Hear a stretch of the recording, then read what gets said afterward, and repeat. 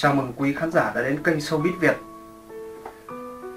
Kính chúc quý khán giả có những giây phút thư giãn thật tuyệt vời bên chúng tôi. Và đừng quên đăng ký bên dưới, cũng như bấm vào chuông thông báo để nhận được những video clip mới nhất trong ngày. Và bây giờ, xin mời quý vị hãy đến với những tin tức nổi bật nhất trong ngày hôm nay. Sau scandal tình ái với An Nguy, phải trả lại hơn 900 triệu cắt xê, Kiều Minh Tuấn giờ ra sao? Sau hàng loạt nùm xùm tình ái với An Nguy, cuộc sống hiện tại của Kiều Minh Tuấn khá suôn sẻ. Kiều Minh Tuấn là một gương mặt khá quen thuộc trong showbiz Việt nhiều năm trở lại đây. Anh được biết đến rộng rãi qua vai Hoàng trong bộ phim Em chưa 18. Điều khiến Kiều Minh Tuấn nổi tiếng và được công chúng ngưỡng mộ chính nhờ mối tình chị em kéo dài hơn chục năm với vai diễn của diễn viên Cát Phượng. Trong đó Kiều Minh Tuấn được ca ngợi về đức hy sinh và tình yêu cao thượng của mình. Khi một lòng trung thủy chăm sóc Cát Phượng cùng con riêng một cách tận tình, tuy nhiên hình tượng sói ca của Kiều Minh Tuấn đã hoàn toàn sụp đổ vào cuối năm 2018 khi anh vướng phải lùng xùm tình ái với An Nguy khi cả hai tham gia phim Chú ơi đừng lấy mẹ con.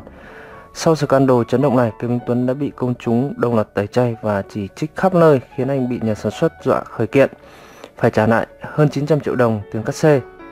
Cả Cát Phượng và nhà sản xuất phim cũng bị dư luận lên án vì những lùm xùm sau đó. Bộ phim Mẹ Tuệ thì bị đóng băng vô thời hạn.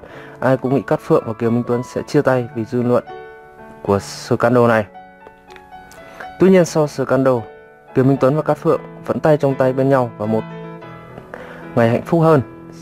Ngay sau khi scandal nổ ra, Kiều Minh Tuấn và Cát Phượng vẫn cùng nhau đi sự kiện chụp ảnh Tết sau đó họ thường xuyên xuất hiện cùng nhau tại game show truyền hình. Kiều Minh Tuấn thi thoảng lại đăng hình Cát Phượng lên Facebook cá nhân của mình. Gần đây nhất, Cát Phượng đã lần đầu đăng tải hình ảnh mình và Kiều Minh Tuấn tình cảm trên trang cá nhân Facebook. Sau hơn một năm im ắng vì scandal, điều này cho thấy cả hai vẫn đang rất hạnh phúc. Về phía mình, Kiều Minh Tuấn ngày càng đắt sâu hơn sau scandal. Anh có mặt ở nhiều game show truyền hình như Rộng Ải Rộng Ai, Nhanh Như Chớp và là giám khảo gương mặt điện ảnh Thế Minh Tuấn cũng được mời đóng nhiều MV ca nhạc và hầu như MV nào anh góp mặt cũng thành công rực rỡ như Hết thương cạn nhớ, Đức Phúc, Như lời đồn bảo anh.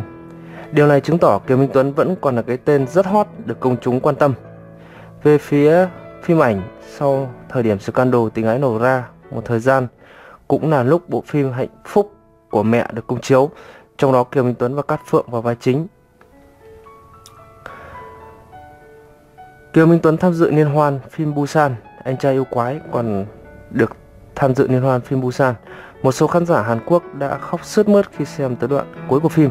Dự án điện ảnh này đánh dấu thành công trở lại của Kiều Minh Tuấn trên lĩnh vực diễn xuất.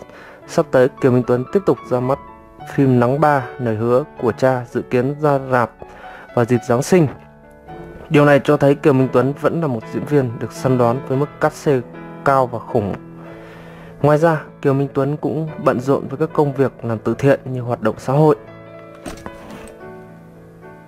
Xin chân thành cảm ơn quý vị đã theo dõi video. Quý vị hãy kích vào đăng ký kênh ở phía dưới để cập nhật những video mới nhất trong ngày quý vị nhé. Xin cảm ơn quý vị rất nhiều.